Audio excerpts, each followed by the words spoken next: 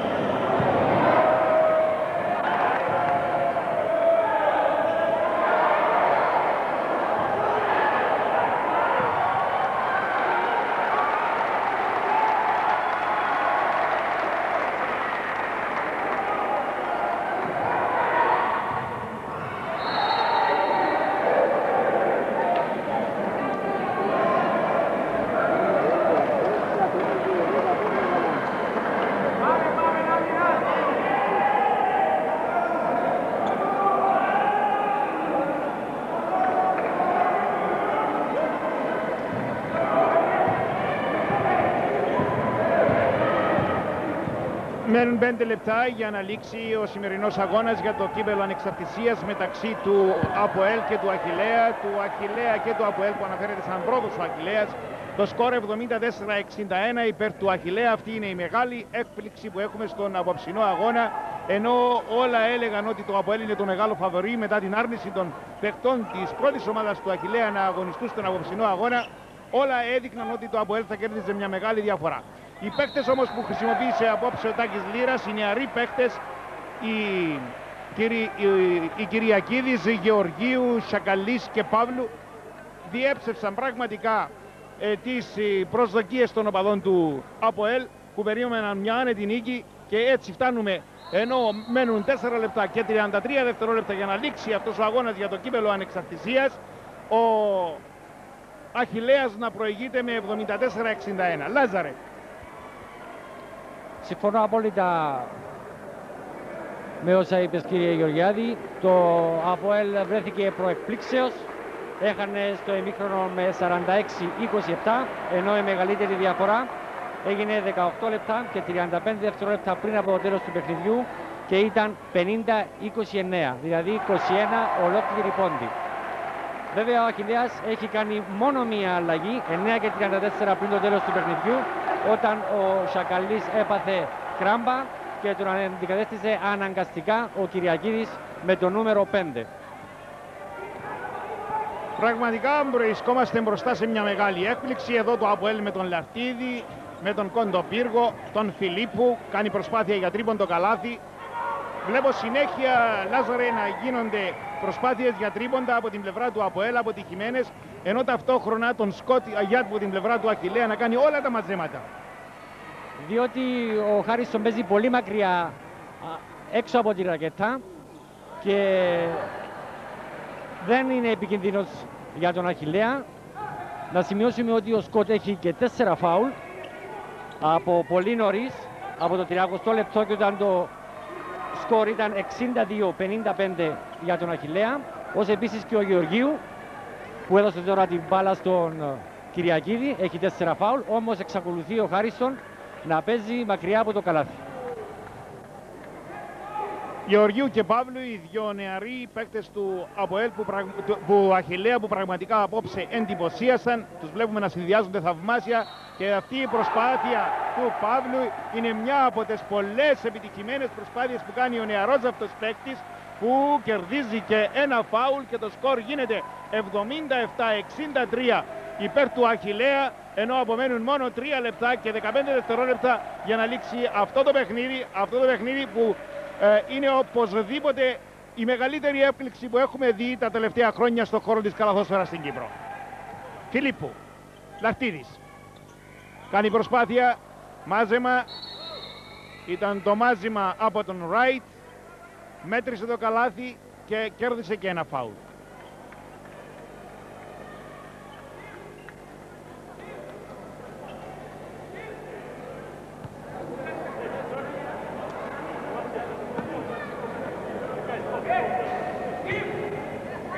Για μια στιγμή στο ξεκίνημα του δευτέρου ημιχρόνου Λάζαρε ε, έδειξε το Αμπουέλ να βρίσκει κάποιο ρυθμό ε, στη συνέχεια όμως ε, ε, ξανά χασε την μπάλα. Και να τώρα και πάλι εδώ ο Παύλου να κινείται υπέροχα έξω από τη ρακέτα μαζί με τον Γεωργίου. Γεωργίου. Σκοτ Εύκολη προσποίηση για τον Σκοτ, εύκολο καλάθι μπροστά από τον Λαρτίδη. Σκοτ και Λετέσμα πραγματικά ε, κρατούν τον Αχιλέα σε ψηλά επίπεδα και το ευχάριστο συμπλήρωμα για την ομάδα του Καϊμακλείου οι τρεις νεαροί παίκτες ενώ είδαμε ένα τρίποντο τώρα από τον Χάρισον. Ένα τρίποντο και το σκορ γίνεται 79-69, 10 πόντι διαφορά υπέρ της ομάδας του Αχιλέα. 2 λεπτά και 30 δευτερόλεπτα πριν από τη λήξη αυτού του αγώνα για το κύπελο ανεξαρτησίας. Λετέσμα, ο αφιλεγόμενος αυτός παίχτης με τα νεύρα του απόψε δεν είχε ούτε νεύρα, ήταν μια, ένας υπέροχος παίχτης. Περισσότερο σε ρόλο playmaker παρά σαν πύργος κάτω από το καλάθι. Φιλίππου, Κοντοπύργος, Κόβεται ο Κοντοπύργος από τον ε, νεαρό Κυριακίδη με φάουλ όμως.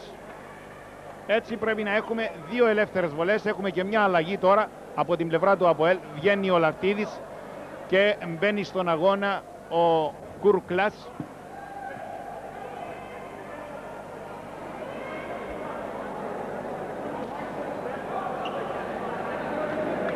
Ίσως αυτό που έγινε στον Αχιλέα να είναι και μια μοναδική ευκαιρία για την ομάδα του Καϊμακλείου να κάνει ανανέωση που τόσα χρόνια επιζητούσε αλλά λόγω πληθώραν παιχτών δεν τα κατάφερνε.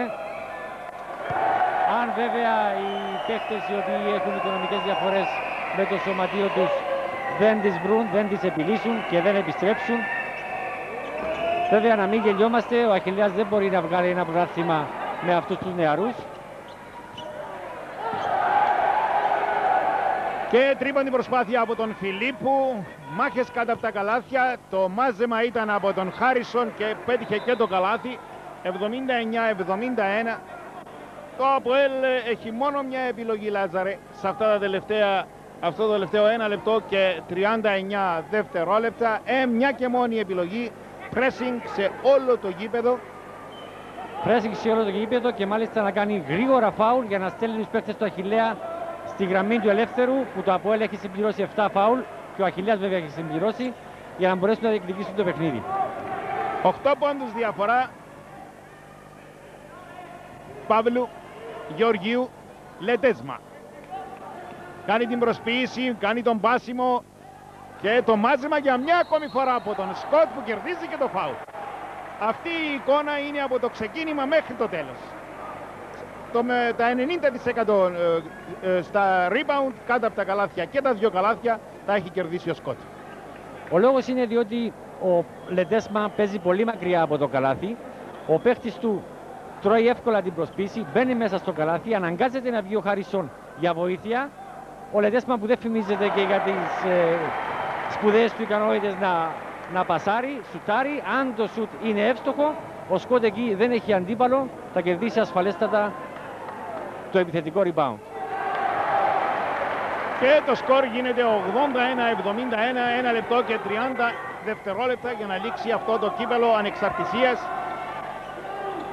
Ένα κύπελο που δεν θα μπορούσε κανείς να προβλέψει ότι θα είχε τέτοια εξέλιξη. Να και το κλέψιμο από τον ε, Λετέσμα, να και τον πάσιμο, να και το κόλλο επιτυχημένο. Όλα τα κάνει αυτός ο παίκτης απόψε. Right. Στείνεται το screen από τον Κοντοπύργο. Right και πάλι.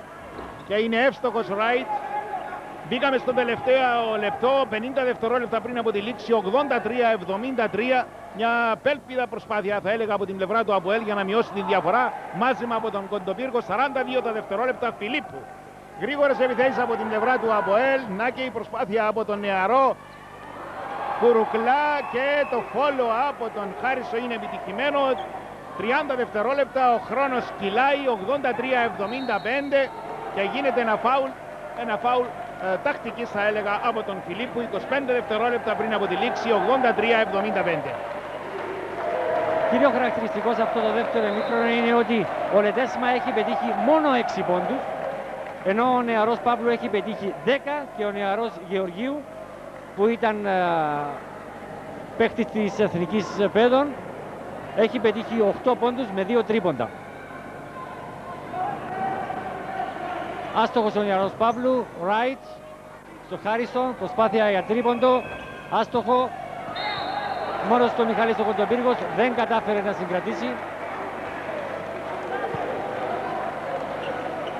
17 δευτερόλεπτα πριν από τη λήξη, 83-75 13 δευτερόλεπτα μακριά ο Αχιλέας από την κατάκτηση του κυπέλου ανεξαρτησίας. Έχει κάνει βήματα λέει ο κύριος Γαβριήλ. Γαβριήλ και Κυριακίδης είναι οι δυο διαιτητές του σημερινού τελικού. Ο κόσμος έχει αρχίσει να φεύγει.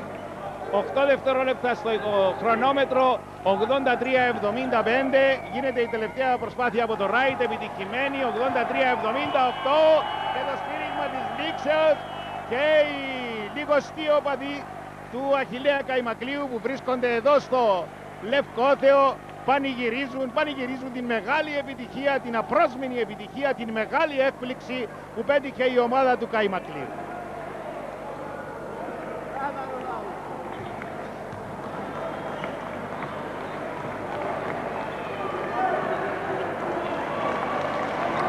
Ήταν ένα παιχνίδι με διαφορετικές ε, αλλαγές ε, ένα παιχνίδι που έληξε στο πρώτο ημίχρονο 46-27 υπέρ του Αχιλέα. Να θυμίσουμε ότι ε, ένα λεπτό πριν από τη λήξη του πρώτου ημιχρόνου η διαφορά είχε ανέβει στους 21 πόντους και οι όπαδοι του Αποέλ πίστευαν ότι το Αποέλ θα έβρισκε κάποιο ρυθμό στο δεύτερο ημίχρονο. Πράγματι το Αποέλ βρήκε στο ξεκίνημα του δεύτερου ημίχρονου κάποιο ρυθμό.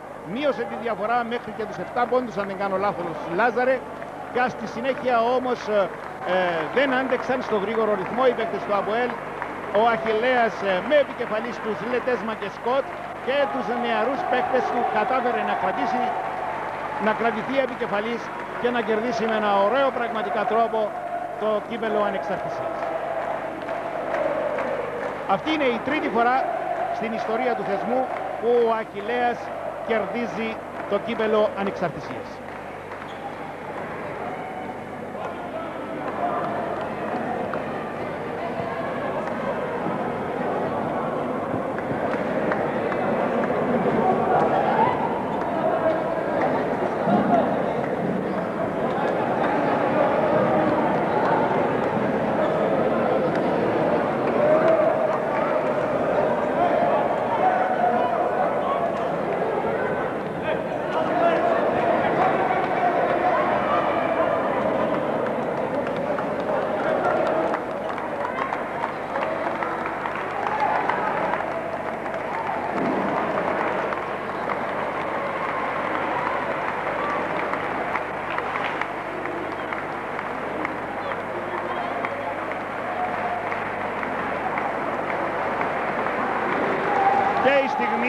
Απονομής της ασπίδας ε, του κυπέλου ανεξαρτησίας η τρίτη φορά που κερδίζει ο Αχιλέας στην ιστορία του θεσμού.